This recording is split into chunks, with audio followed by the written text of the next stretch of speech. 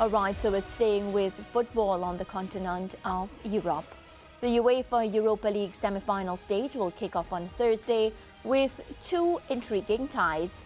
Two former midfield greats will come face-to-face in the coaching arena as Daniele De Rossi leads Italian giants AS Roma into battle against Bundesliga champions Bayer Leverkusen, who are guided by Xabi Alonso. Well, the first leg is set for Rome's iconic Olympic Stadium. And in the other tie, the French heavyweights Marseille will take on Atalanta, who eliminated favourites Liverpool at the quarter-final stage. Well, I did say Brent Sancho will be staying with us, and he joins us for yeah. this aspect of the discussion. Brent, are you there? Yes, very much there. Can't wait for this tie. Of course, uh, Bayern Leverkusen with the possibility of, of breaking the, the unbeaten record, which stands at 49. Uh, of course, they're currently at 46. So uh, maybe uh, one step closer to a historic feat from the men from Germany with a huge tie against Roma tomorrow. Yeah, and Brent, we have to remind our viewers that last time at this same stage in this same competition, uh, Bayer Leverkusen was eliminated by AS Roma. So this match is even more exciting than many expect because it's a revenge match. Yeah, it could be coined that way, but I tell you what, how much things have changed over the course of a year.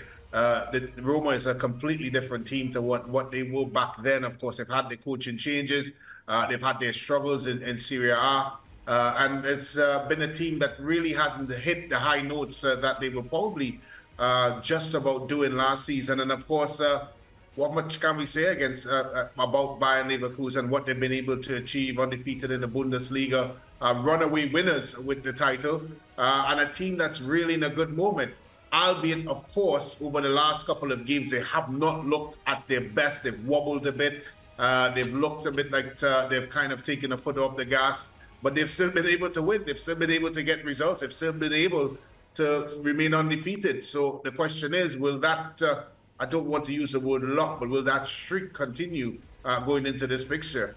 Yeah, and you just made such an important point. Of course, AS Roma looking different as than they were before. And I want to bring up one of my favorite coaches. Well, he's my coach, favorite coach when he does uh, media press conferences. That's what I like, how he talks, right? Uh, Jose Mourinho, how he left this AS Roma team versus Brent, the AS Roma team that we see now. The difference in that squad. Of course, I think he played a, a, lot lower line of, of, of, of course, uh, engagement. They, I, I, don't want to use the word defensive. Uh, they're a bit more pragmatic in their approach. Um, but uh, this Roma team is trying to play. They're trying to find combinations. They're trying to be a bit more expansive in their approach. Um, but they still struggling, Mariah, to find their DNA. They're still struggling to be comfortable in their own clothes. That man there in the picture, the Paulo Dybala, uh, has been has done well for them this season, but they've not really find their identity so far. And I think that's the challenge uh, for this year's Roma.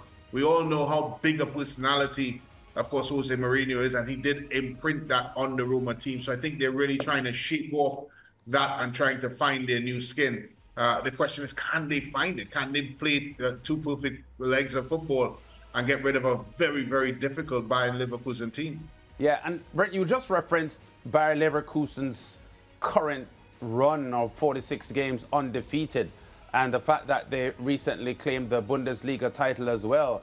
And I want to suggest that there's a kind of energy in this Bayer Leverkusen team at the moment that just is that they, they refuse to lose because their last two Bundesliga games ended in draws against um, Borussia Dortmund and Stuttgart. And in both, in both instances, they needed stoppage time goals to get the draw drawn results, to extend their unbeaten run. So they were facing defeat, snapping their, their unbeaten run twice back to back weeks and found stoppage time goals to get, you know, to keep their unbeaten tag going. So there is something, there's an energy in this Leverkusen team at the moment, Brent, that mentally charges them up for these assignments.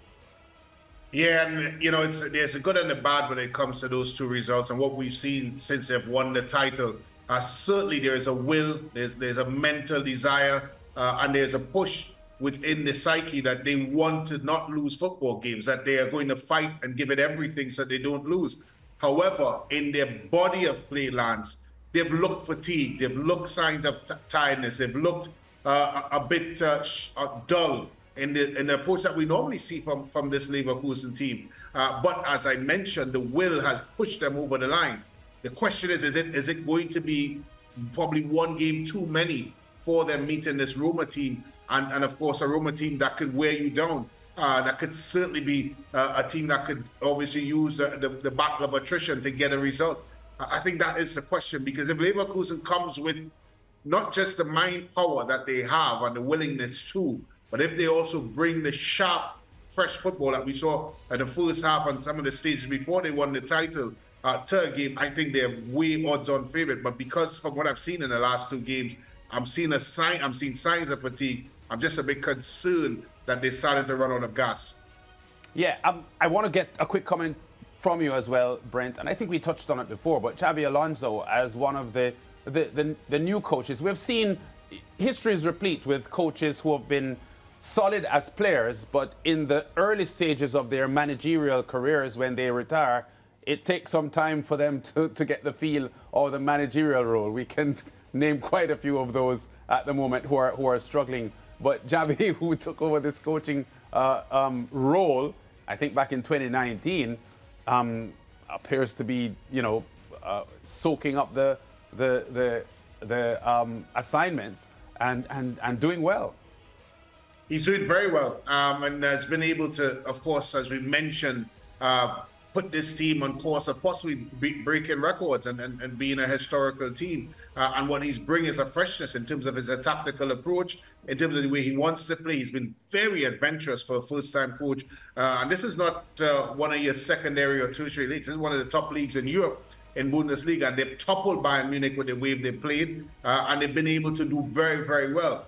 However, Lance, I think his real judgment will come next season. Can he emulate? Can he still motivate players like a Pep Guardiola that can get you to win consecutively and, and be consistent in your performances?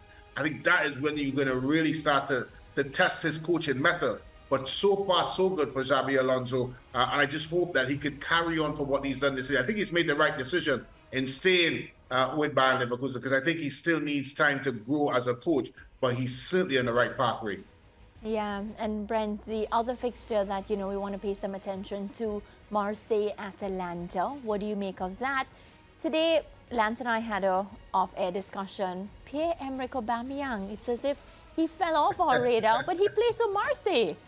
And he plays for a very good Marseille team as well, who's been doing extremely well in this competition. But I just think coming up against this Atalanta team that we saw against Liverpool and the way they've diced Liverpool apart, uh, it might be a bit, uh, as I said, one step too far for them. For, but you, you, have to give credit to Marseille, what they've been able to do. Uh, they're very strong in attack, of course, led by the, the forgotten man. Uh, and I'm sure he will have a point to prove. They beat a very good Benfica side uh, to advance in the tournament.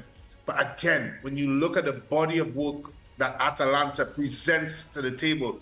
Uh, I've not seen Liverpool, and, and, and I'm sure Lance could bear me out here. I've not seen a Liverpool team be torn apart the way they were uh, against uh, against another opponent at Anfield and the way they did it. So this Atalanta team is coming in with a lot of confidence, and I, I just feel uh, that what they bring to the table and the way they're playing right now as well, Mariah, they would be very, very difficult to beat. What will be the difference maker between these two teams? Because I think this is one of the matches, Brent, that's very close. And to me, it's difficult to call. Like, I can't predict. if I had to predict, luckily I'm the one asking the questions today.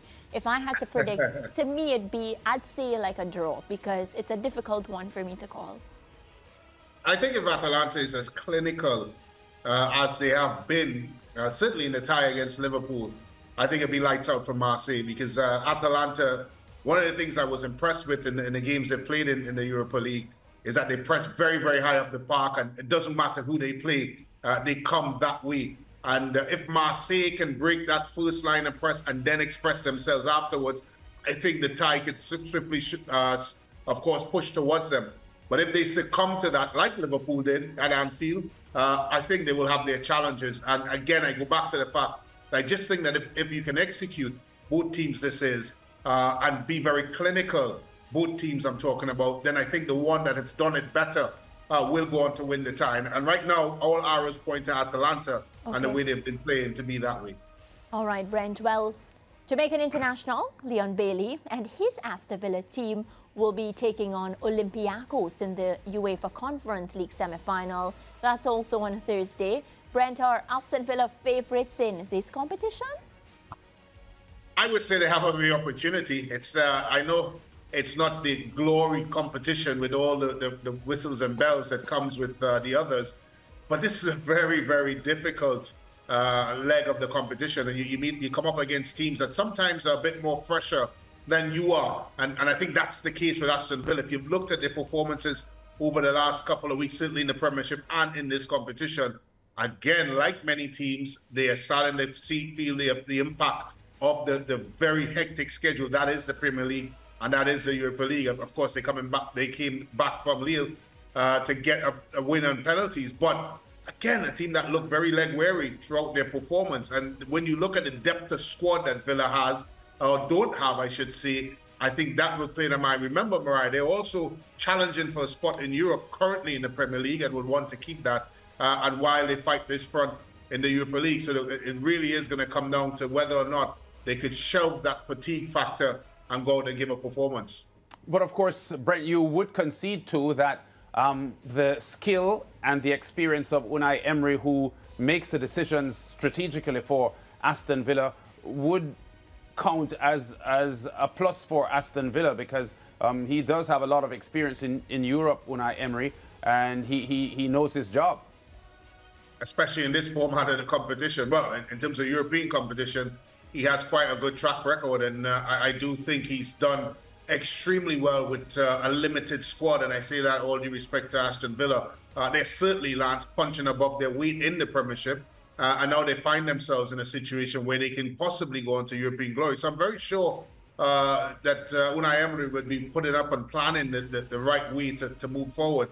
I was a bit concerned, I would say, in the Lille game when they, they looked like they were beaten for a lot of it uh, in, a, in, a, a, an atmosphere that was really charged, and uh, they did look a bit dead and buried, but somehow they they're able to come to life. And if they can find it in their way, we talked about the will, the want, the desire to go out and win these sorts of competitions.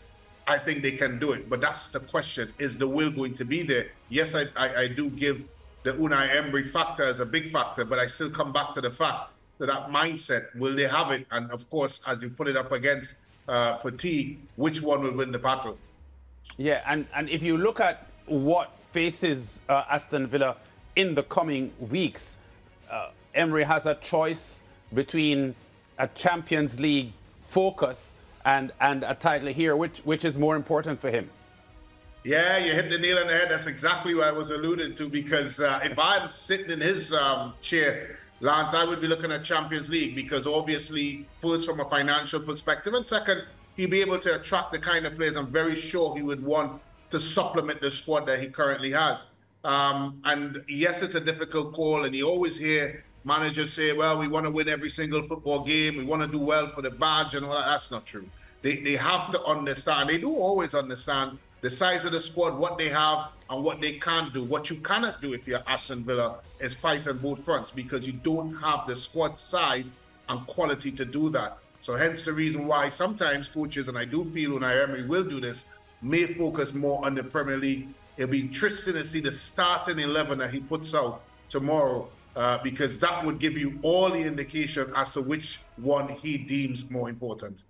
Yeah, Brent, well, what's for sure is we have a lot of different football to look forward to, and we will definitely be chatting with you again. We want to thank you so much for your time, and we'll see you tomorrow.